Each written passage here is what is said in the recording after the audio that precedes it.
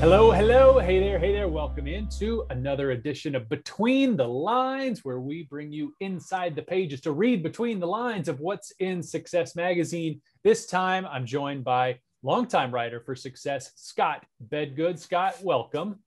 How's it going, Josh? So, your piece for the July August issue, one of your pieces actually, there was another. We'll talk about that at, at some point, I'm sure. But uh, for the sales and marketing chapter of the magazine, it's called In Search of Whales, all about selling to wealthy people. Did you learn a lot, Scott? Have you have you uh, flipped any million dollar homes or anything in the couple of months since you wrote this? Yeah, actually, I opened up a Ferrari dealership it's I've lost a lot of money on it, but um, you know, of, I, I didn't didn't have all my ducks in a row. Yeah, a lot of inventory. It's kind of tough uh, these days. But no, I actually learned a ton because I am not a salesperson. Uh, I am not uh, certainly in the world of of major wealth, and so the idea of the story was really interesting to me because I was like, I don't even know where to start because I think, and that's kind of what how I approached the story was my thought is how could I ever sell a $50,000 watch to someone if I don't even wear a watch or if I don't even wear like a $20,000, you know?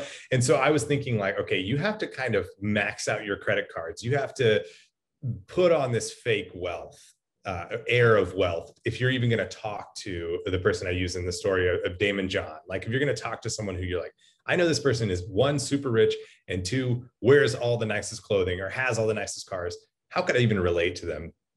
And so that's where Ryan Serhant of Million Dollar Listing New York, um, who specializes in only selling to really, really rich people, uh, that's where his book, Big Money Energy, and speaking to him was really helpful because he wasn't a super rich guy when he started. Now he is. And I just asked him, I was like, do you kind of have to fake it till you make it? And he was like, absolutely not it is not about faking it. It's about knowing your stuff. And the, you know, the number one piece of advice he gave was really rich people, they don't need you to save them money. They need you to save them time. Everyone wants their time. So if you're selling to them, you got to save them time. And honestly, I, again, I'm not actually selling Ferraris, but that's such good advice when you're talking to a CEO, when you're talking to your just your boss at work and you're going, how can I make myself more valuable as an employee? It's like, oh, I can save my boss time. I can save the CEO time. And so I thought that was a really interesting lesson.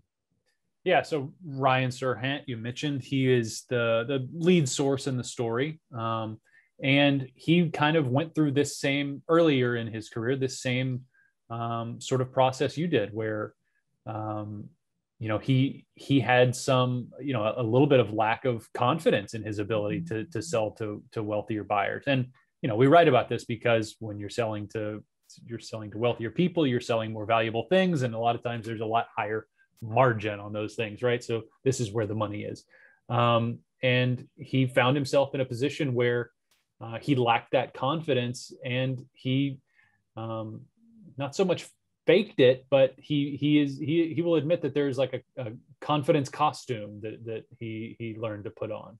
Mm-hmm. I thought that was so interesting the way he um, had sort of a demarcation between fake it till you make it and the confidence costume because he tells the story in the book. Um, basically, he was middling real estate person, not making a lot of money, didn't have designer, didn't have anything of wealth because he wasn't doing that well, but he was like, I want to do really well. I want to, you know, he wanted to be bigger. And he sort of started portraying himself or thinking of himself as Big Ryan, like the future version of himself. So Big Ryan would do XYZ. Big Ryan would talk like this. He would know these facts. He would know these neighborhoods to sell to these wealthier clients and he the way he described it was that's different than faking it because faking it is you're not actually who the you're not doing the thing you're just kind of faking it and so ho- hoping people don't catch on. Whereas he was like i hope people catch on because they'll see that i'm actually this future version of myself who's making a lot of money selling big things finding success who's really confident. Uh, and some of that was kind of actually the clothing. Some of it was just the persona, and a lot of it was the knowledge, the studying of the areas that he needed to study so he could sell to these clients the studying of what uh, a client would need. Um, oh, they have kids, so they need to be close to this school or this school, or um, their hobbies are X, Y, and Z, so they want to be close to these places in New York. Those kind of things were more important than the actual costume. But he did say, "Look, I wore a fake Rolex for a long time just so I could think about one day I'm going to wear a real Rolex." Uh, he did say it turned his wrist green, so you know it wasn't it wasn't perfect but he he he, he it, it, was interesting. I thought it was very interesting the way he described some of those things that you might say oh that's kind of weird to wear a fake rolex but to him it inspired him to get a real one i guess. Big lesson there is preparation. I mean it's it's always key but when when when you're giving someone um and Daymond John and in the example of your story but uh, really this sort of concierge treatment you have to be ready to to be the exact uh, have all the answers to all their questions to to to know them um, to to be the best not the best salesperson in the world which is kind of where you start the story but the best salesperson for them on that day.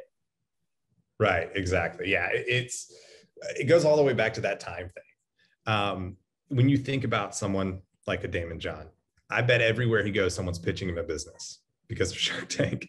And then the other people that are talking to him are trying to get him to sell, to buy their product. And the other people are trying to get him, you know, everyone wants something from an ultra rich person. They probably have very few people who are actually sort of looking out for them. Now, of course, when you're selling something to them, you you want something too, but it needs it has to sort of be portrayed as like you're helping them out and you're providing all of this value and you're saving them so much time because you've prepared and you know what Daymond John wants. You've, I mean, especially when someone's famous, you can look up a lot of information about them to know exactly sure. what they want. Uh, but one thing I did ask Ryan, I was like, do you go into a meeting with an ultra rich person knowing everything there is to know about them? And he said, it's kind of a balance, which I thought was a really interesting take. He said, you want to be able to talk to them, interview them, learn some things in the conversation, but obviously, you don't want to walk up to Mark Cuban or Daymond John or whoever and be like, "So, what do you do for a living?" You know. But you might you might have conversations that that can help you figure out his favorite type of watch or car or whatever it is. Uh, but it was so it was interesting because I thought he would say, "Yeah, oh yeah, you need to know everything." But he's like, "No, some of it needs to be that natural conversation without you just sort of already knowing the answer." Well, I, I loved you for this story because, as, as you said at the beginning, not a sales writer, not a sales expert. Sometimes those fresh eyes can uh, really be illuminating for people who have been in the game for a while and, and need um, need to be able to see it from a totally new perspective. So, thanks for the sco- the story, Scott. It was a great one, and uh, appreciate you being a part of the uh, the success team for so long. Yeah, thanks, Josh. It was a fun one to do. All right, everybody else, we'll see you next time with another edition of Between the Lines. So long, everybody.